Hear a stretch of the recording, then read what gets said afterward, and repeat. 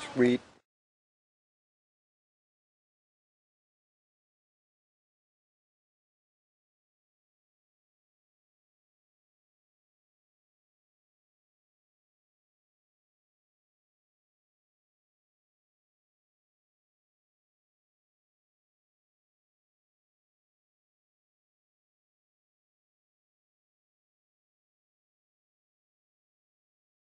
Here's our new alternator.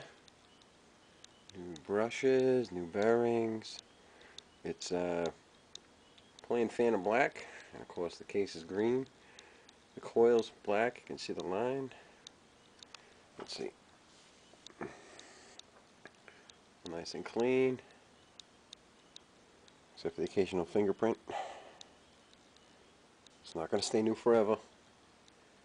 And better than what it was. That but ugly red. Uh, Dawn's turned out to be a piece of crap. It had a few extra screws I needed. Case is broke, like I said.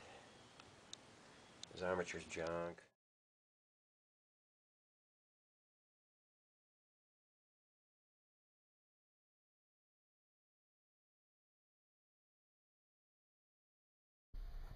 Went to AutoZone, got my hose, inch and a half ID with a little more than a 90. Uh, I got some shrink tubing, like six bucks. I got some diodes. I need uh, actually needed three, but I only they only have two. Uh, one's for the alternator, so it doesn't feed back to the coil, and I would need two more for the directional switch. I got a 12 volt, 30 amp breaker. This is going in line with the uh, fan. That way, if anything happened, and you know, God forbid, I got two for one. I got the um, 30 amp fuse in line, so that'd probably blow before this, but it's nice to have these. And I have the correct clamps from AutoZone. What else we got? I gotta run and get some other things. I forget what they were, but so far we got like 10 bucks, 6 bucks, 3 bucks, a dollar 99, and these are in exchange, so still running around. Diodes. A lot of fun to play with.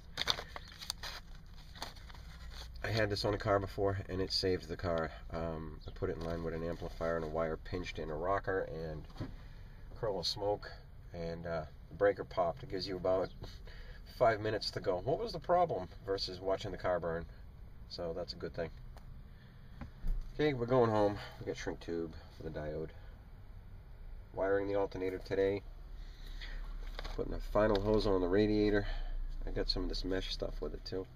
That's pretty cool. Put that on the elbow. Alright, see you back in the garage. Okay, I found uh, two of these connectors from the bus. They plug end to end. Put the diode in line, and there's my line that goes to the coil. Or it will, once I hook it up there. It's actually laying over there because I need the slack to pull this out for right now. There's my shrink tube, I just got to push it down. Good solder joints.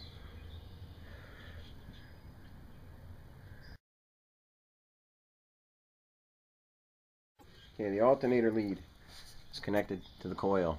That's the tickler. Go through the diode to pin a number, what is it, two?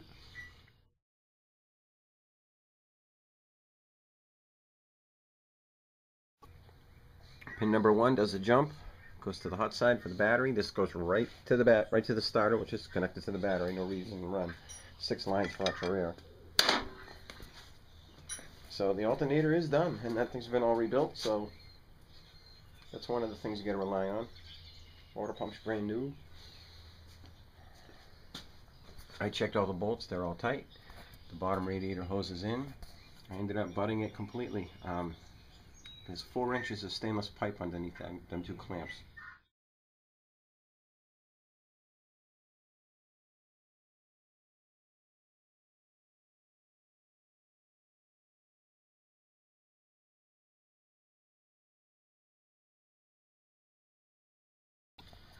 And I left that uh, friction stuff on the pipe because it looks good. Now it doesn't touch underneath, doesn't touch under here, doesn't touch anywhere until it gets to the uh, radiator. The radiator has two clamps on it. The uh, filler neck on the 41 Buick is like four inches long. Well, the neck on the bottom there. Chevy, I wish they made this one a little longer, but they didn't, so that one only ends about here. There's really no room for two clamps. That cost me five bucks, not fifty. Uh, my breaker is in here.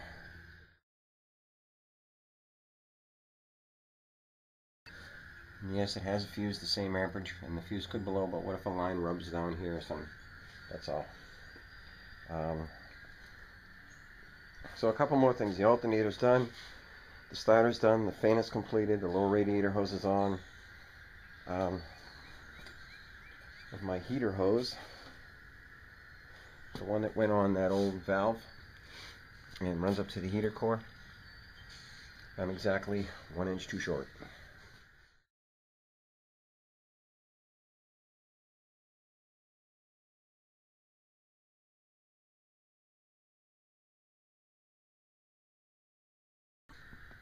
Five eighths, so I gotta go get another one. I need some 5 16 hose to go from here to the overflow on the uh, radiator, and then probably want to go down under the frame, probably like three feet, four feet. Um, then I can put water in it. Dad's watching me through the iPod again. Say hi, Dad. You been listening?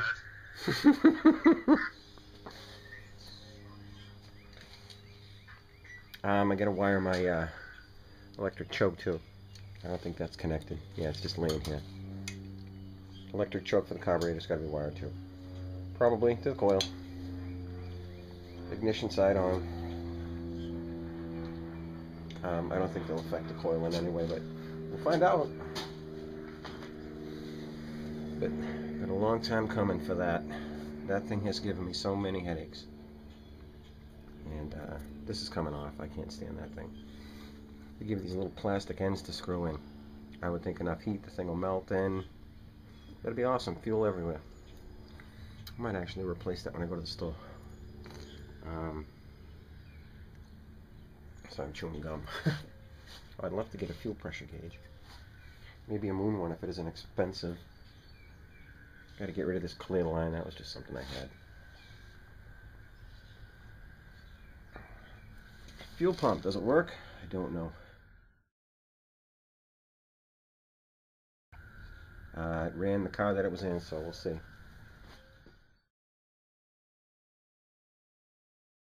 You want? You want to play with that again? Okay, hold on. Stop playing with it. Bowling pin. Um, somebody asked in the previous video what the bowling pin is for. Uh, of course, if you read the plaque, that was my grandma's. That was her birth date, death date. Well, year. And uh, she was a big bowling fan. And this car's pretty much named after her, so this is one of the things I had that was hers. And what else do you do with a bowling pin? I throw it out, stick it on a shelf. It wouldn't do much up there, right? Or over there. Just a, um, like a memorial, you know, someone is going, wow, a bowling pin. How often do you see a bowling pin up close? You don't. like that Nova Grill emblem. Oh, the horn. I gotta make a bracket for the horn. Maybe I'll do that today. I have to get the correct belt for the alternator. That will work for now, but it's kind of creepy. Well, I have to go lay down. I work second shift and I get into sleep sometime. But, uh, I mean, we've been hauling ass in this thing for yeah, four days straight now. And what you don't see is the runs back and forth to the stores to get this, that, and the other. My thermostat is in there, my radiator cap. Kind of sits back a little. You can get your fingers on it. I think we're going to put a Chevy Eagle right there. Or a Viking. I'm going to hound the guy for my exhaust. Or I'm just going to get it back and do it myself. I'm sick of waiting. We'll see. Um, dying to get this thing turned over, and that's the one thing holding me back. I have to get one back and uh, line up the side ports, and then cut it out, mark it, and tack it, and then bring it back to work, and have them weld the remainder of that, because I have no idea where my little pipes are that stick out the side where they're going to go. But we got one guy doing it, and uh, another guy I'm hoping can help me out. We'll see, because he probably he watches these videos too. Okay, guys, it's like uh, nine o'clock in the morning. I gotta go lay down. Have a good night.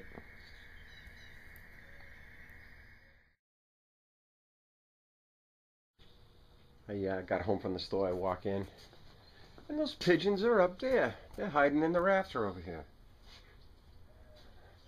So I gotta close my door. One of them just flew up, seen me, and then turned around and booked.